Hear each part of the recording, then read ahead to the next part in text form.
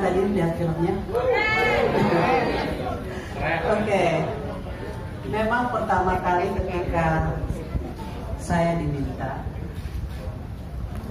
jujur saya senang, tapi saya tanya juga kepada mereka, berani ya minta kita yang udah tua-tua gini untuk jadi DJ?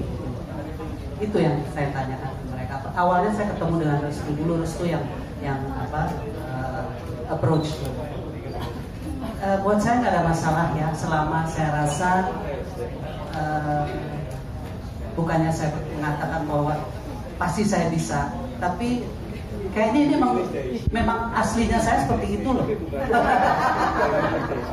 Biasanya justru saya jaim enggak enggak enggak ya memang menarik aja.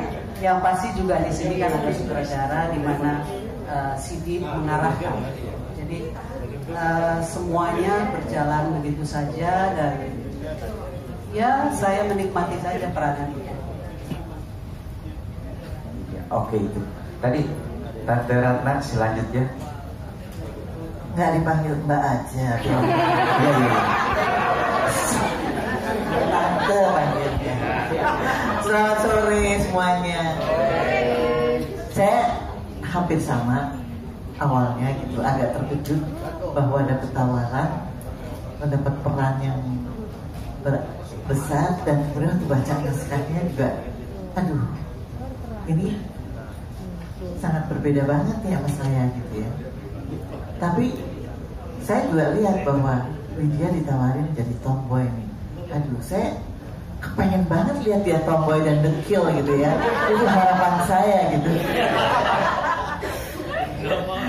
jadi memang awalnya khawatir bahwa ini nggak salah nih di dalam film Indonesia orang-orang seumuran sih ingin pegang peran gitu ya.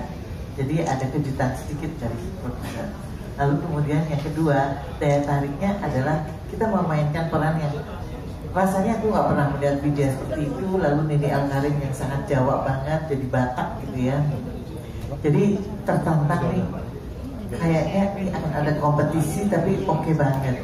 Dan ternyata kita bertiga juga jadi sangat apa ya dalam perjalanannya happy banget loh waktu melakukan kerja ini.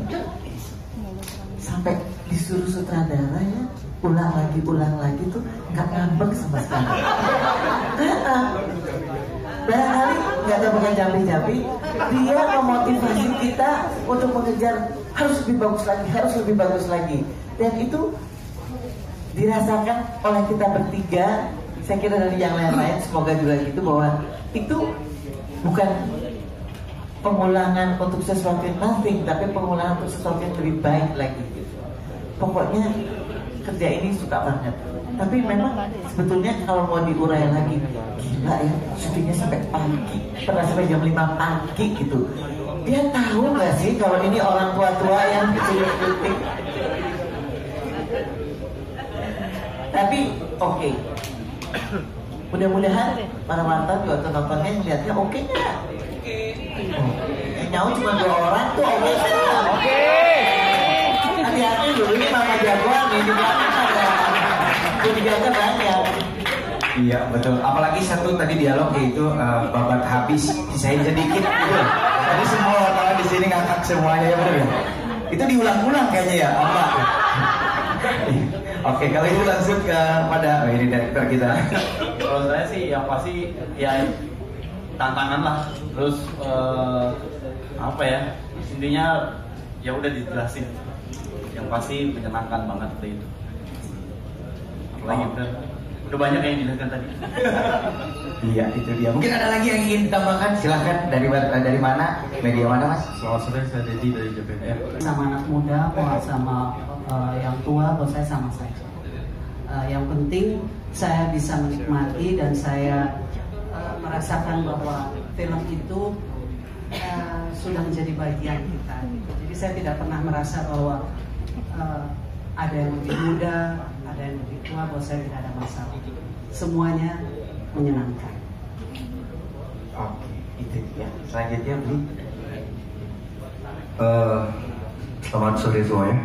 Uh, tentang perasaan bermain film ini eh, banyak alasan sih. Mungkin Unyawati salah satunya karena saya sejak remaja menganggap beliau salah satu apa ya, epitome of beautiful, itu Indonesian beautiful.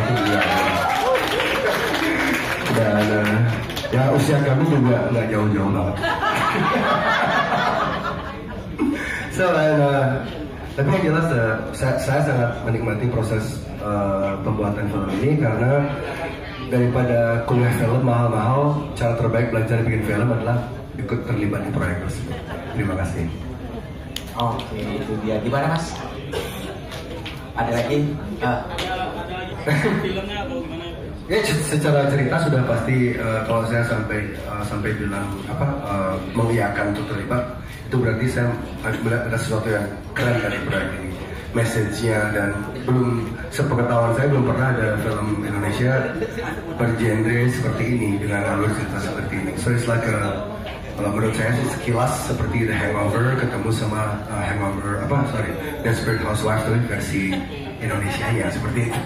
So yeah, it's a it's a very cool project dan dan merasa senang ber- apa uh, it's a privilege untuk saya bisa bekerja bersama senior senior yang punya pengalaman banyak di dunia perfilman. Oke, tadi ada satu lagi pertanyaan katanya pas waktu adegan menggendong gitu. Oh. Mas, ah itu tadi katanya eh, susah kalau gendong yang muda mungkin ya. Ini muda banget gitu. Ah, gimana? Biasa aja sih saya saya, saya Uh, yang penting kan kualitas bukan kuantitas. ya, aja nggak ada masalah. Soalnya saya di rumah juga sering gendong ibu atau nenek. So, no. Iya. Besok-besok kalau ada yang datang minta Long Island jangan dikasih mas ya. lumayan apresiasinya Eh, ya memang memang sebetulnya kalau kalau sederhana lagi cerita ini sebetulnya memang saya saya punya pertanyaan gitu tentang bahwa eh, hidup tuh walaupun di di, di senja mari terus dinikmati. Itu itu yang yang yang apa yang paling yang ingin saya sampaikan. Tapi gimana caranya mengambil itu dari dengan satu bentuk yang juga punya layer. Mungkin jadi jadi apa, bawah sadar saya juga kali ya. Memang eh, saya selalu observe dengan hal-hal yang seperti itu yang mungkin mungkin apa mungkin eh, sangat dekat dengan konteks kita.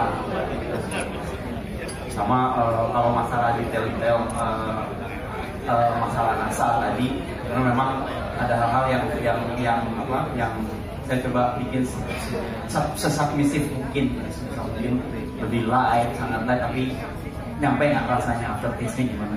Lebih gitu sih Pak. Oke, gitu mas. Iya luar biasa. Boleh tepuk tangan. Dulu. saya pergi ke jadi dia hanya pesen es teh. Lalu dapat terima. Jadi nggak tahu apa-apa bahwa itu dikasih minuman yang salah terus minum gitu.